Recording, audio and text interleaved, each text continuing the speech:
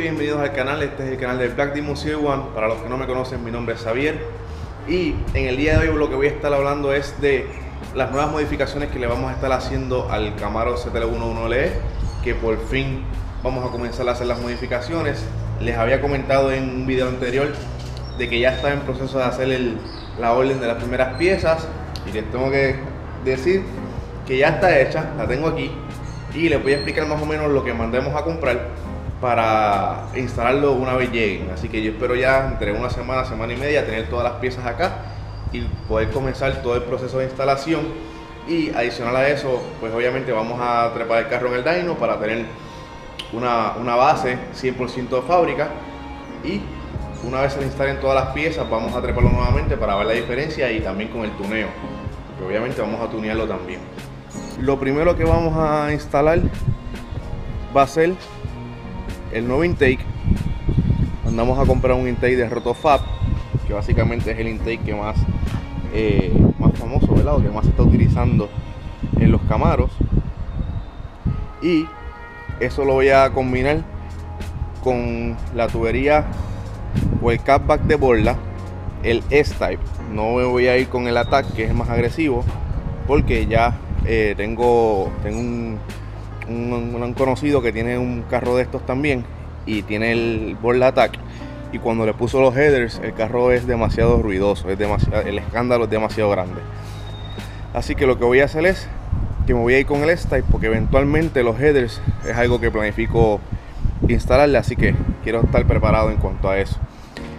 Una de las razones por las que escogí la tubería o el capac de borla es porque, irme acá porque es mucho viento. Borla te permite mantener el MPP. El MPP, para los que no saben, es el sistema de válvulas en el escape, en, el sistema de escape. O sea, es lo que permite que tú puedas abrir y cerrar las válvulas para controlar un poco el sonido, ponerlo en, modo eh, silencioso, ponerlo en modo sport, que hace un poquito más de ruido, ponerlo en modo de track, que es el más ruidoso de todos. Usualmente cuando le cambiamos la tubería a estos carros, perdemos ese sistema. Y eso es un sistema que cuesta dinero y, obviamente es un, dinero extra que se le añade al precio del carro. Como quien dice, es una opción. Y la razón por la que cogí el S-Type y no la TAC es por eso mismo, porque tampoco quiero que el ruido sea tan escandaloso que no lo pueda controlar luego.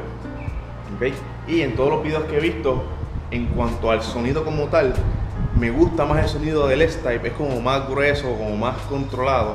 El Capac Attack se oye como más, es difícil explicarlo, como más explayado, como más, no sé, más latoso. Y no me gusta ese sonido así. Así que nos fuimos con eso. Lo otro que hicimos, lo otro que mandamos a buscar fue unos cat delete. Con los cat delete tuvimos un poquito de problemas porque en realidad no hay muchas opciones. Y lo que conseguimos fue unos cat delete de la marca New Era Performance. Yo nunca he comprado nada de esa marca, pero los reviews que vi son buenos. El producto se ve de muy buena calidad. Y lo que quise hacer es, ya que de una vez iba a tunear el carro, pues vamos a quitarle todas esas restricciones. Y prácticamente una vez pasemos de, de los headers, de ahí para atrás va a ser todo casi prácticamente straight pipe. Excepto los moflecitos que traiga el catback. Pero prácticamente de, de los headers hacia atrás va a estar todo modificado, va a ser con menos restricciones, una tubería más ancha que la de fábrica. Así que podemos liberar unos cuantos caballitos de fuerza ahí y obviamente con el tuneo pues se le saca más provecho. Así que tenemos el intake, tenemos la tubería, el catback de borla, tenemos el cat delete de New Era Performance. Y lo otro que se, que se va a instalar, que no es como eh, para añadir caballos de fuerza como tal, pero nos ayuda en el proceso, va a ser unos nuevos spark plugs que trabajan más frío y un termostato para poder regular mejor la temperatura. A la hora del tuneo, pues poder hacer una mejor programación en cuanto al carro, pues estos carros corren bien calientes y mientras más frío podamos mantenerlos, pues obviamente va a ser mucho mejor. Así que básicamente ese es el update que tenemos con el Camaro. Lo otro que vamos a hacer van a ser los tintes, se supone que lo haga hoy. Vamos a tintear los cristales. Así que ya después de aquí voy a dar una, lavadita ahora y como saca de aquí vamos a ir a poner los tintes. Así que ya saben, intake, catalyt, capa, spare, spark plugs, eh, termostato y tuneo. Antes de montar todo eso, vamos a llevarlo a la pista a ver cuánto hacemos en el cuarto de. Para por lo menos tener una base. Yo sé que no es lo mismo porque una vez lo modifique, posiblemente también necesite unas gomas mejores. Así que ya son eh, bastantes variables, ¿verdad? En, la comparación. Pero ahora mismo el carro tiene las la gomas Michelin Pilot Sport. Y así mismo como está, lo voy a llevar a la pista para probarlo. A ver cómo nos va, para practicar la primera vez que lo voy a llevar, obviamente. Y tener una base para poder comparar una vez eh, tengamos todas las modificaciones.